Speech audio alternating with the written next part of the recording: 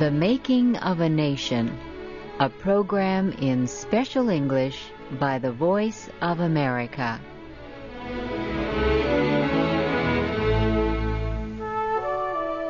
I'm Shirley Griffith.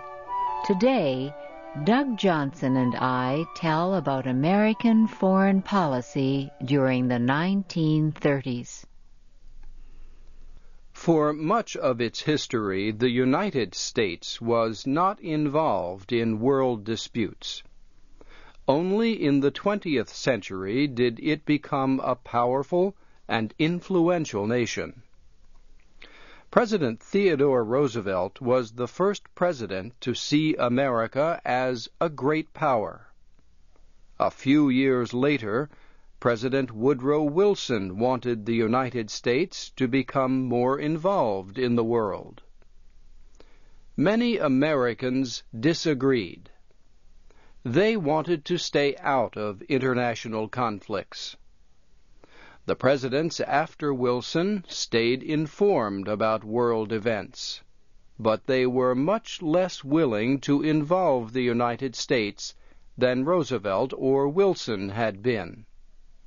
The great economic depression that began in 1929 reduced Americans' interest in the world even more.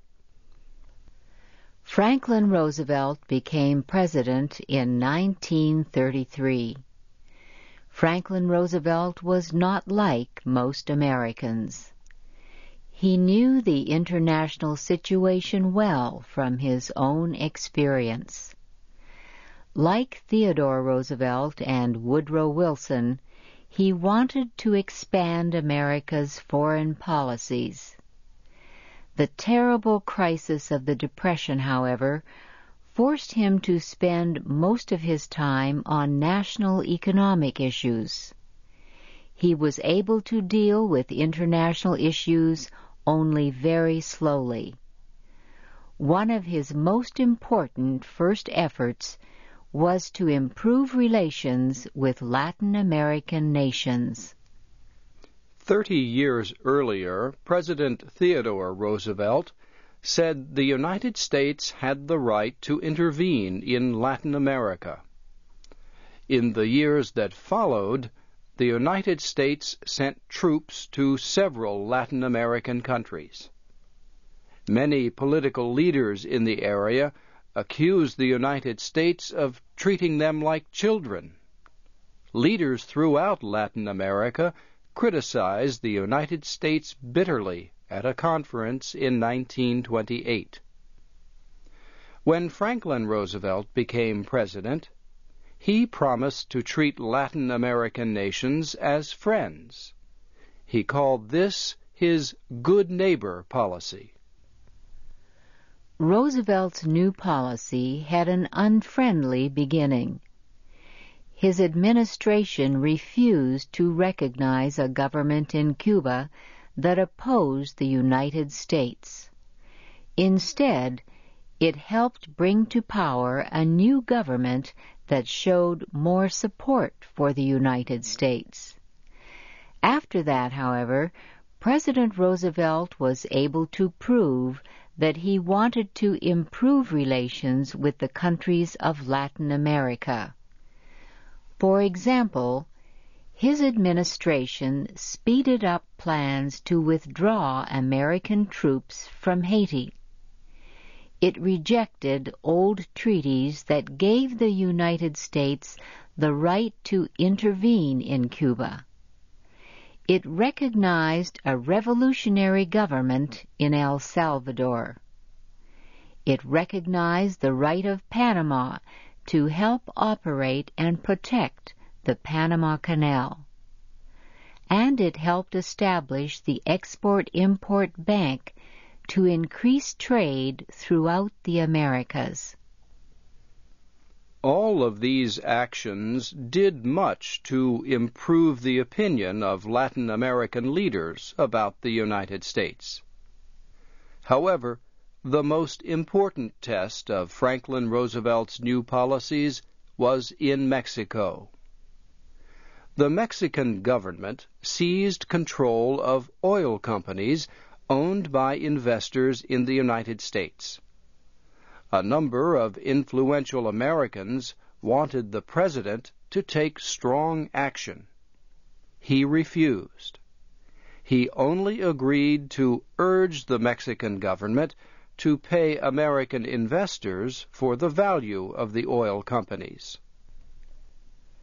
As United States relations with Latin America improved, its relations with Britain got worse. Britain blamed Franklin Roosevelt for the failure of an international economic conference in 1933. It also felt the United States Congress was unwilling to take a strong position against international aggression by other nations. Some British leaders had so little faith in Roosevelt that they proposed seeking cooperation with Japan instead of the United States. New leaders in Japan, however, soon ended this possibility. They presented Britain with such strong military demands that the British government gave up any idea of cooperation with Japan. One big question in American foreign policy in the 1930s concerned the Soviet Union. The United States had refused to recognize the government in Moscow after the Bolsheviks took control in 1917. Yet Franklin Roosevelt saw the Soviet Union as a possible ally if growing tensions in Europe and Asia burst into war. For this reason, he held talks in Washington with a top Soviet official. In 1933, he officially recognized the Soviet government. President Roosevelt hoped recognition would lead to better relations. But the United States and the Soviet Union did not trust each other. They immediately began arguing about many issues. Within two years, the American ambassador to Moscow urged President Roosevelt to cut diplomatic relations with the Soviets. Roosevelt refused relations between the two countries became even worse. Yet Roosevelt believed it was better to continue relations in case of an emergency. That emergency, World War II, was just a few years away. Economic issues played an important part in American foreign policy during the early 1930s. In 1933, a major international economic conference was held in London. France and Italy led a movement to link the value of every nation's money to the price of gold. American delegates to the conference rejected the idea. They argued that it would slow America's recovery from the Great Depression. As a result, the London Conference failed. Although President Roosevelt opposed linking the value of the American dollar to the price of gold, he did not oppose international trade. During the 1930s, his administration negotiated new trade agreements with more than 20 countries. The 1930s saw major political changes in Asia and Europe. President Roosevelt watched these developments with great interest. In Japan, military leaders gained control of the government. Their goal was to make Japan Asia's leading power. In Italy, the government was headed by fascist Benito Mussolini. Another fascist, Francisco Franco, seized power in Spain. And most important, Adolf Hitler and the Nazi Party increased their strength in Germany. Franklin Roosevelt understood much sooner than most Western leaders the threat that these new leaders represented.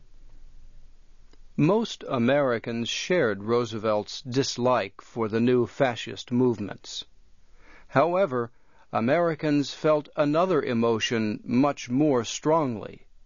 It was their desire to stay out of war. World War I had just ended 15 years earlier. It was still fresh in the minds of many Americans. A majority of the population opposed any policy that could involve the United States in another bloody conflict. A public opinion study was made in 1937. The study showed that 71% of Americans believed it had been a mistake for the United States to fight in World War I. So President Roosevelt was not surprised when Congress passed a law ordering the administration to remain neutral in any foreign conflict. Congress also refused an administration proposal that the United States join the World Court.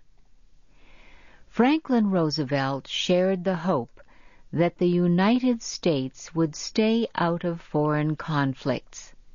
However, Adolf Hitler and other fascists continued to grow more powerful. The situation forced Americans to begin to consider the need for military strength.